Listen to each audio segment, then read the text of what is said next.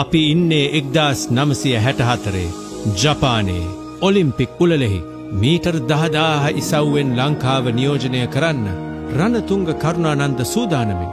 තරංගයට බලවත් රටවල් ගොඩක්. ඇමරිකාව ඔස්ට්‍රේලියාව ටියවනීසියාව වෙඩිල්ල පත් වුණා. එක පුකුරට හැමෝම දුවනවා. කරට කර හිටපු තරඟකරුවෝ දැන් ටිකෙන් ටික ඈත්වෙනවා. පොඩි අසනීප ගතියක් තිබුණත් කරුණානන්ද නෙමෙයි ඒ ගැන හිතන්නේ. වට දහයක් අවසන්. අපේ කරුණානන්ද අන්තිමයා. කරු විසි වෙන වටය පටන් ගන්නවා. ඇමරිකාවේ බිලි මිල්ස් තරගේ දින්නවා. දෙවෙනි තුන්වෙනි ස්ථානත් තෝරා ගන්නවා.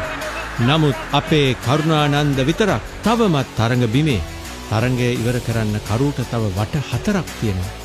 සියලූම ක්‍රීඩකයෝ දැන් තරගේ අතහැරලා කරුණානන්ද විතරක් උපරිම ජවයෙන් දුවනවා. මුල් වටේදී ප්‍රේක්ෂාගාරයෙන් කරුණානන්දට උසුලු විසුලු දෙවැනි වටේ හැමෝම නිහඬයි පොඩි අත්පුඩියකුත් ඇහෙනවා. තුන්වැනි වටය හැට දාහකට වැඩි ප්‍රේක්ෂාගාරයම ඔහු වෙනුන් නැගී සිටිනවා. ඔන්න අවසන් වටය. ඔක්කොමල අසුන්වලින් නැගිටලා කරුණානන්දට ප්‍රීති ගෝෂා නගනවා. Come on Ceylon come on Ceylon තරංගය දැන් ඉවරයි. පළවෙනියා බිලි මිල්ස් මෙහෙම කියනවා. රන් පදක්කම අයිති මට නෙමෙයි කරුණානන්දටයි. අදටත් ඔලිම්පික් ඉතිහාසයේ විශිෂ්ටතම පරාජිතයාගේ ගෞරවය කරුණානන්දට.